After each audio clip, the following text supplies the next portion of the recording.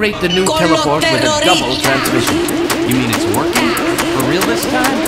Because I still have nightmares about that cat. No, no, there's nothing to be nervous about. We've made major strides since then. What cat?